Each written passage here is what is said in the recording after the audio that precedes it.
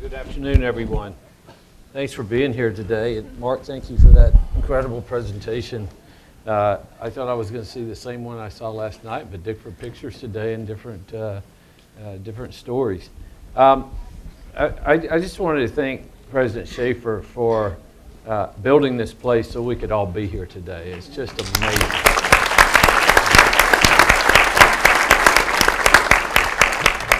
And, you know, uh, when I got here, everyone told me that President Schaefer was a transformational president for the University of Arizona, and it was uh, somewhat uh, intimidating to be following the John Wooden of uh, university presidents.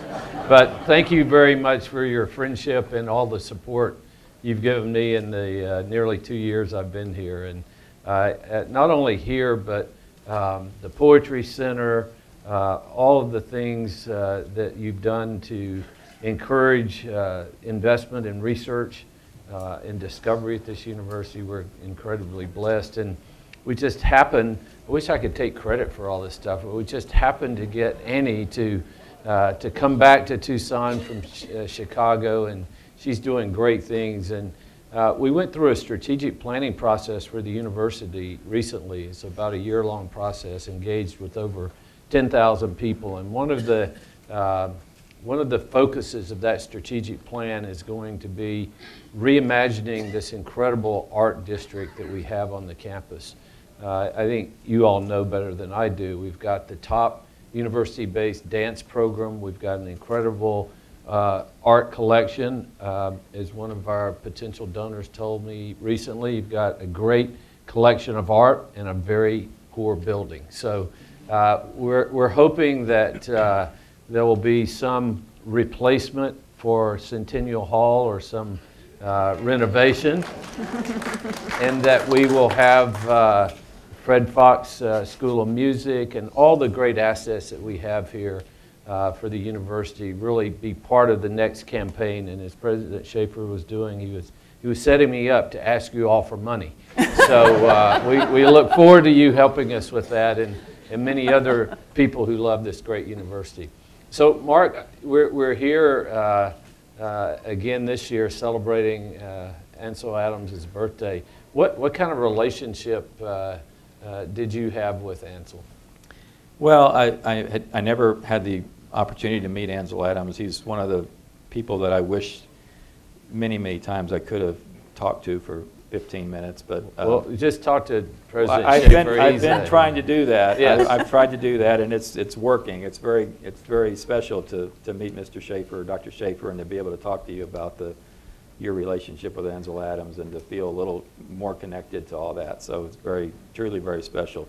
Um, you know, my relationship today is thinking of Ansel Adams as just one of great respect for what he did at his time. And, uh, you know, he was a, a huge pioneer in photography and also in photography as an art form.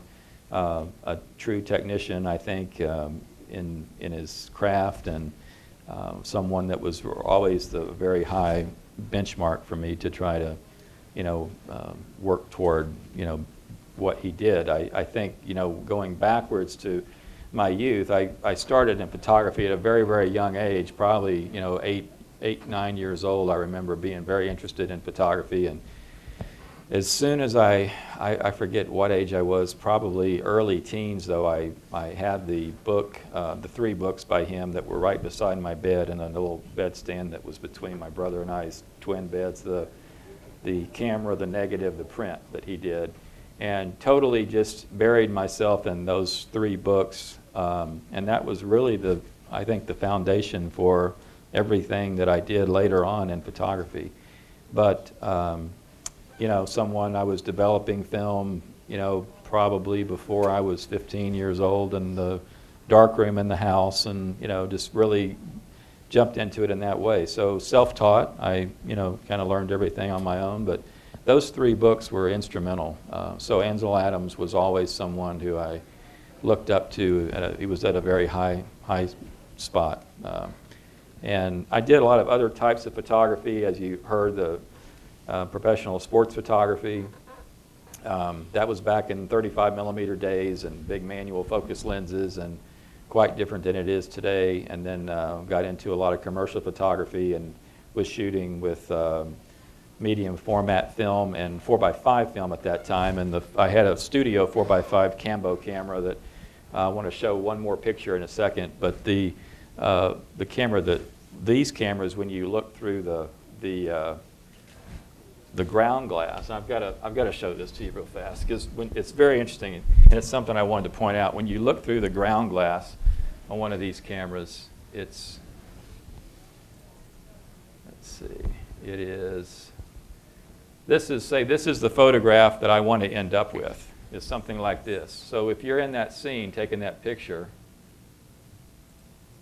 this is what it looks like when you're looking through the ground glass. Everything, with any, any of these cameras, this, the top, the taller two cameras or the studio camera, everything is upside down and it's backwards. So you have to get used to kind of flipping yourself around that. And the, uh, to, to see that in that way. But the, what I was going to say is when I did the studio photography, I was fortunate enough that they had these binocular reflex hoods that you could buy for them, and they would flip it all around for you again. So you, it was much easier to do that sort of photography. And that was technology that had come along to, to, to that point. And then digital now is taking over in commercial photography. But um, that's, that's what it looks like when you're looking through the ground glass. Yeah. Uh, if you have seizure disorder, don't, don't try this out in the field. So Yeah. Becky, tell, tell us what, Should we leave that, or should we put it back to what you were going for? Uh, okay, we'll put it back. But Brian can probably do it. Okay, Brian I'll get it. I just don't want to leave the audience hanging. Yeah. Becky, set, set for, uh, it sounds like a lot of experts in the room who were controlling the light, and thank you for whoever s- shouted that out. Turn the house lights down because those images really came, came to life. But uh, for, for mere uh, mortals like me, can you just set the, uh, the importance of having Ansel Adams' work here and, and maybe even some of the other photographers you have? I was watching the reel uh, as Annie was taking me around the uh, Avedon show there of, of how he spoke. I think it was the opening of this, uh, this center, which with all of your help, we're going to make, uh, we're going to revitalize this place and who knows, maybe even build a new auditorium so everybody who couldn't get in could have gotten in today. but what's the significance of having the work here? Well, I- think it's important to think of Ansel Adams's archive here as an anchor for a larger research collection. So, I mean, we're always delighted when we do something about Ansel Adams and we fill the auditorium and we have all of these visitors because he's a name that people know. But Ansel himself did not think he was building a museum of Ansel Adams. His investment was in the medium of photography. And so, what he was creating in an institution like the center was a place where the archives, as Dr. Schaefer said, could be held so that researchers from all over the world, with questions he could not yet imagine, could come to Tucson and do research in those materials to answer their queries. And literally today, we host researchers from all over the world who come to Tucson and use those resources. And what's so exciting about this moment is with University of Arizona's interest in interdisciplinary studies, um, the resources are available to photo historians, people who are writing about the creative process or about specific photographs or trying to better understand how photography has impacted our culture at large. But those same resources are available to people studying psychology or people studying architecture. They can all look at those photographs and see different things in the same materials. And so it, it multiplies vastly what this collection is able to do. And so that's a really powerful thing. And of course, we're incredibly proud to have Ansel Adams's work. His influence is incredible. Um, some of you may have read in the newspapers about this Museum of Fine Arts Boston exhibition that's been going on called Ansel Adams in Our Time. And it's about the relationship between Adams and the way he has influenced the photographers of the 21st century. And Mark is another example not that the influence needs to be immediate or direct, but Ansel Adams built a foundation that every photographer who practices today stands on, whether or not they know it, because he was so instrumental in changing what we thought photography could do and how we valued it as an intrinsic expressive language. And so all of us continue to benefit from those, those things that he did. And then he helped invite other people to join and their archives to come. There were many artists who wanted to be seen alongside Ansel Adams, so that brought other work to the center and to the University of Arizona. And so we now have a collection that is almost 100,000 photographs, over 250 archives. And so we have this incredibly powerful research tool right, right, right here.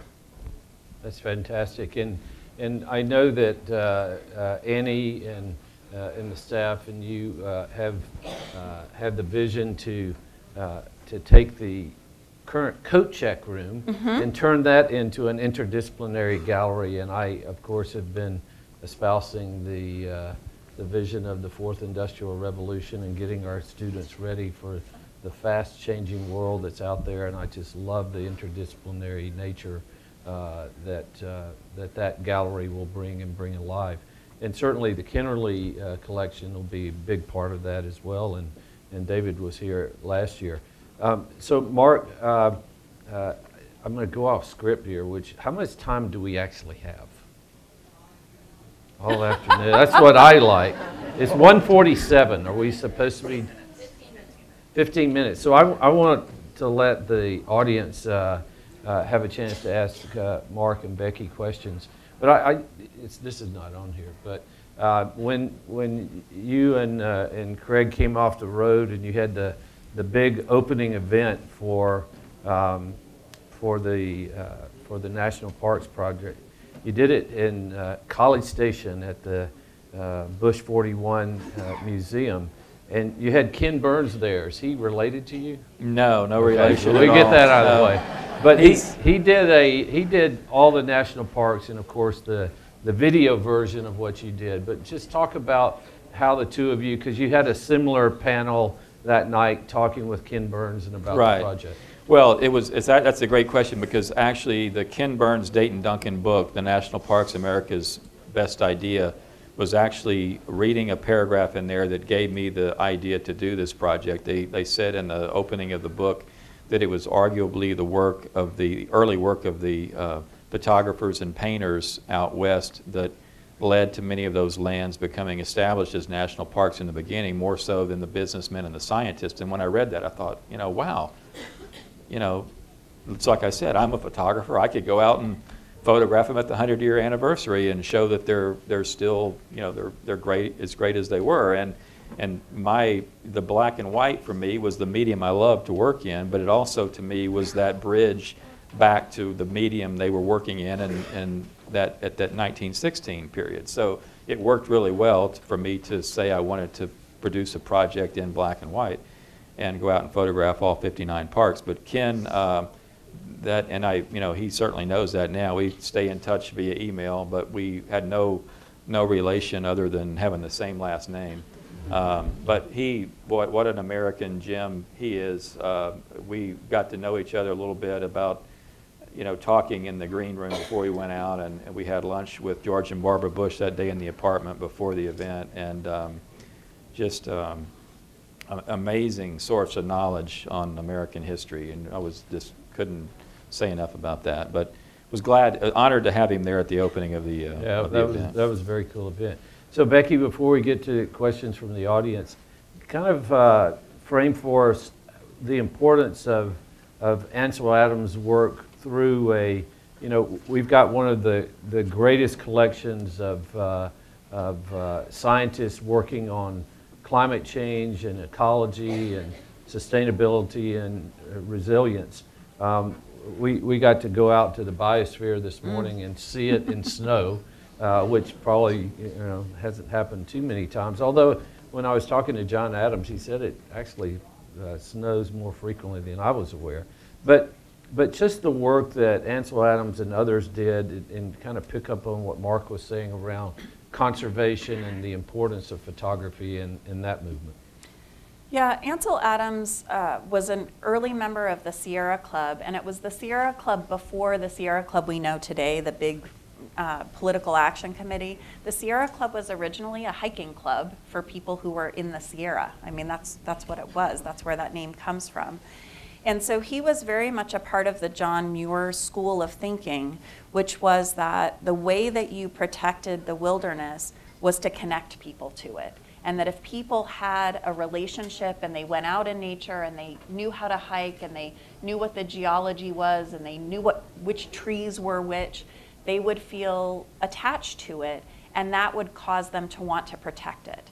And so Ansel Adams was always someone who promoted um, use of the parks. He, he didn't feel like you should wall them off and, and have that space be separate, but rather the idea was to get people out into it because that was how they were going to care and that was what was going to make them invested. And certainly people have been critical of that kind of approach because there are um, those who would like to see wilderness kept very pristine. And Adams, over his years, fought for um, roads not to be built or new areas to be protected. But I think we see in his photography and the photography of those who followed him a desire to create pictures that allow the viewer of the picture to understand the emotional experience he felt when he was in the wilderness. He's trying to bring that experience to us. And in that way, help us when we're standing here in the gallery have the same kind of deep attachment to those wilderness places that the people who are out in them have. And so it, it I mean, his work did actually lead to uh, the creation of Kings Canyon National Park. Um, but, but I think much more broadly, his investment in wilderness spaces and their um, preservation through his images have encouraged other people to think about the importance of those protected lands. And then we see photographers like Mark um, appreciating that intention and then following through on it themselves. And that then extends that legacy and investment in picturing those parklands for people who, who can't, who either can't see them firsthand or that acts as an impulse to get those people back to those parklands and to enjoy them. Having spent a long time in the Bay Area, I don't think Ansel Adams uh, could have envisioned the aggressive mountain bikers that took over some of the trails, but I think there's detente there. Uh, what questions do you have from the audience? Oh, right there.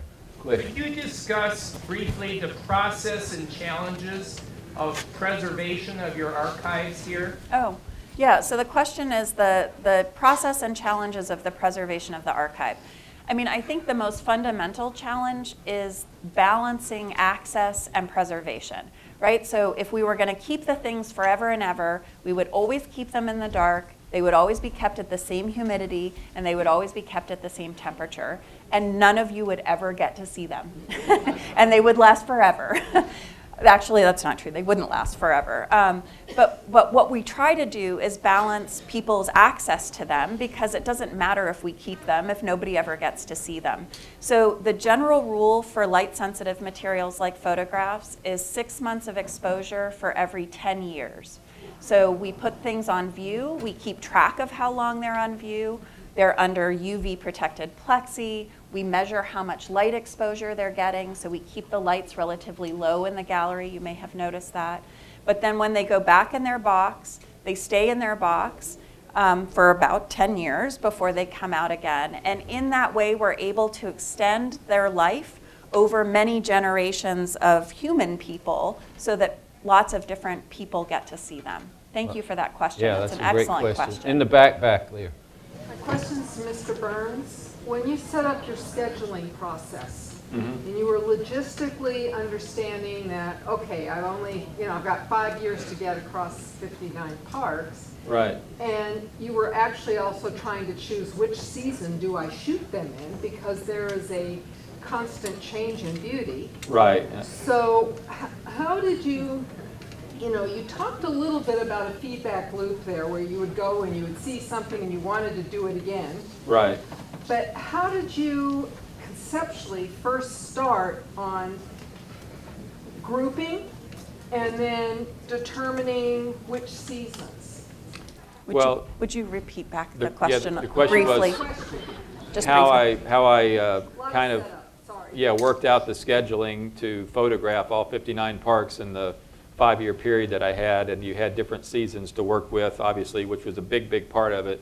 Um, And, and a lot of the parks I went to multiple times in multiple seasons to try to get uh, different uh, looks there. And, you know, some parks, like, you know, parks where you're going to have snow in the winter, can add a whole another beautiful layer to it. Um, and that same park could also look different but very beautiful in the you know summer.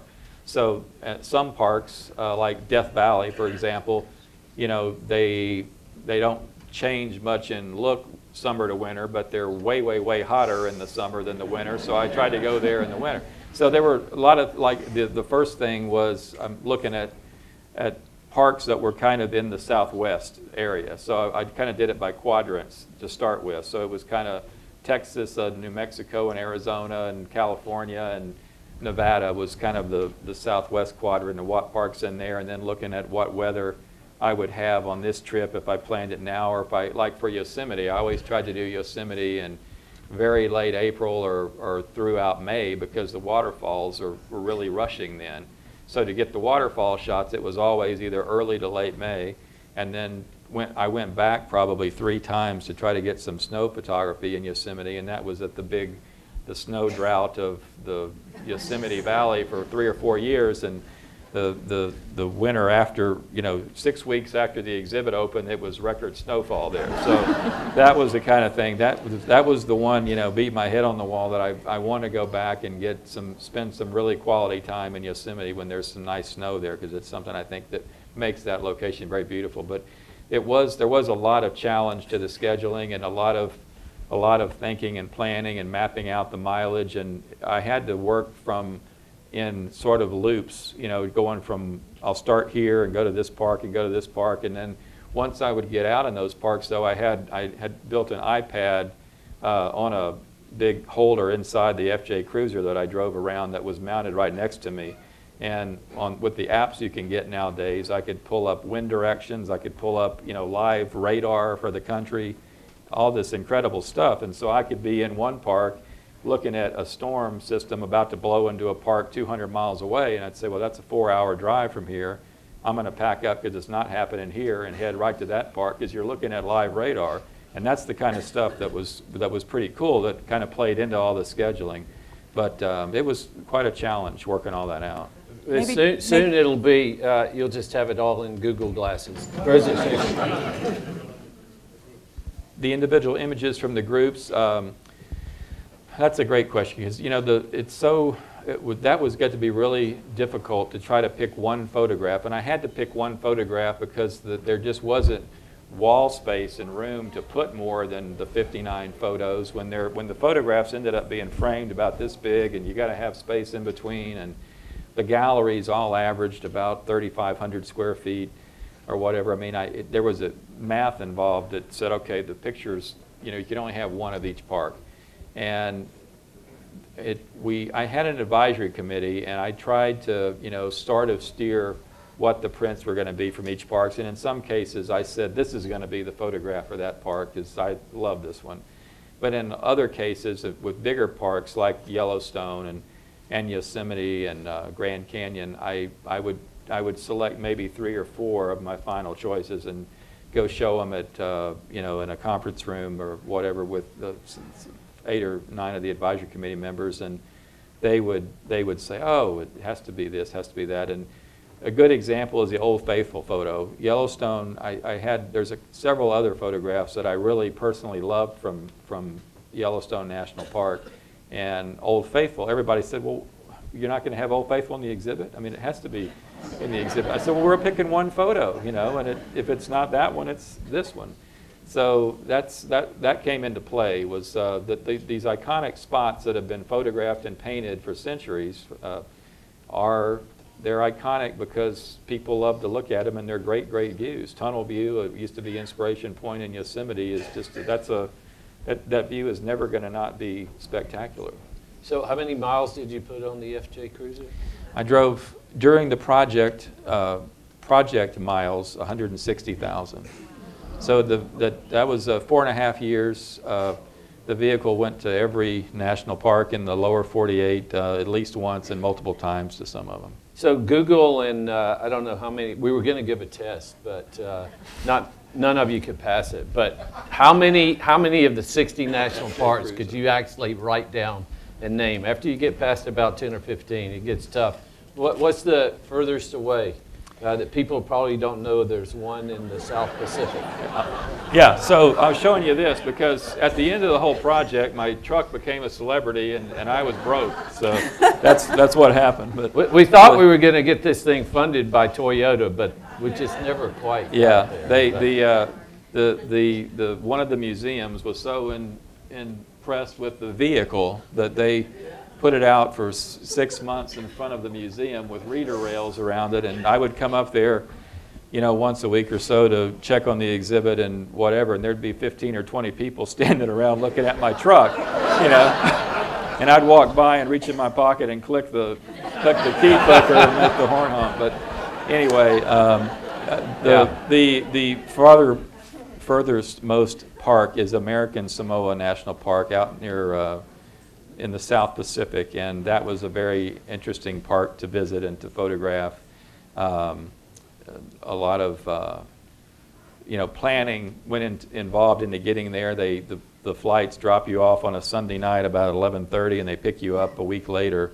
So you're kind of there for the week, and um, Good. It's a good place to be. Yeah. My, my producer is telling me in my ear that we got to wrap this up, although uh, I took my earpiece out and, and, but Annie's about to give me this. There were a couple other questions right there. Yes. I'm curious about your use of lighting. Uh, At least from your presentation, you spoke more about sun rising, catching the light at dawn. And I was wondering, did you use any of the dusk lighting as you were coming to sunset? Or do you just prefer the lighting at dawn? Well, dawn is, I think, just a, a magical time when the, the levels are, you're starting from much lower and it's very slowly coming up, where in the afternoon, when you have harsher light, you're starting with the harsher light and you're hoping that it kind of softens. But in, uh, that's a great question because I, I, you know, got very specific about what I would look for in the atmosphere for lighting when I was doing shots. And anytime you had a, a real, like a thin cloud layer near the horizon, if the sun's up here, but you got this little thin cloud layer, not like big puffy clouds, but you know, just a thin band of clouds, as the sun is going to come down into that, I know that I'm going to have this this moment where when the when it feathers into that cloud, right at that point where it starts feathering in, that's when you see all of a sudden the hard shadows just start to open up. And so you have directional light, but the shadows just open up, and that's when I'm taking the picture. And that may be 30 seconds, it may be 60 seconds, but it's really, it, it, it happens and it's quick. But if you have bands of clouds and the sun may go in and out of them, and it may be harsh light, then it goes in the cloud and it softens up, and then it comes out and it's harsh, then it softens up, but it's at the, it's at each edge. Right at that edge, when it feathers in and feathers out, that's when I'm taking the photograph.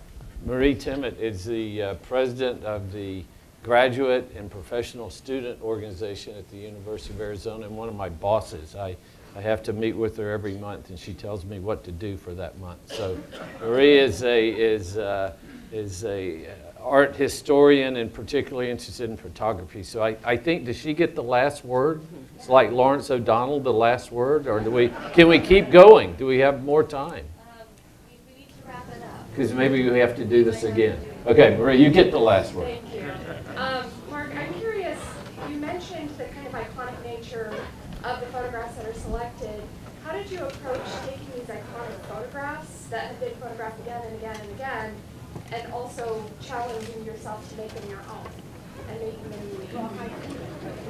Well, Would you- it's. Would you repeat that back just briefly? Yeah, it, it's kind of, um, the question is, when you have iconic spots, like many, so many of these spots are, especially when you had to pick one from each park that's been, it's become iconic over years um, because of the popularity of the, you know, of, of a visual image that sometimes goes back to a painting from the 1850s.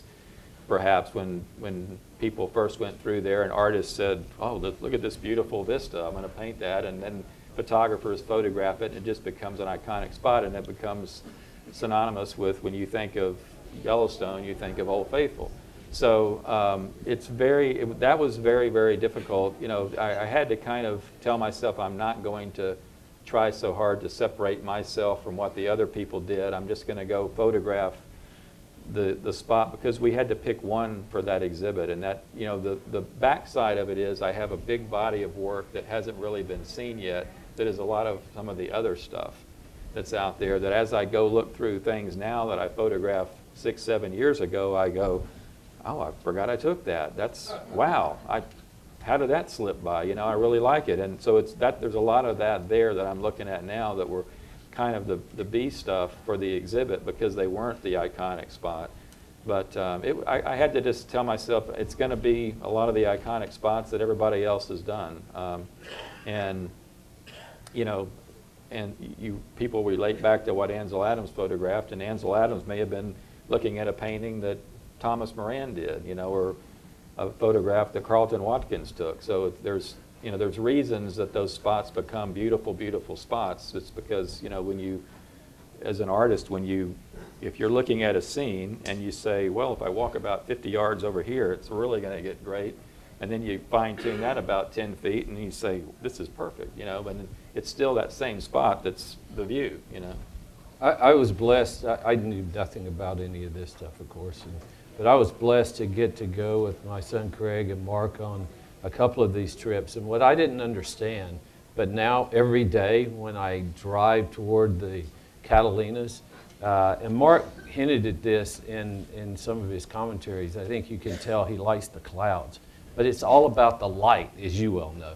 And some days the Catalinas look totally different than they mm-hmm. do on other days. And today it was incredible with the snow on them. I've, of course, never seen that. So thank you all for being here. Mark, thank you for Thank a great you. presentation.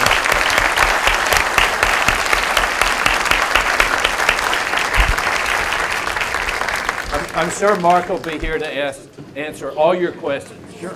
It's like holding clinic.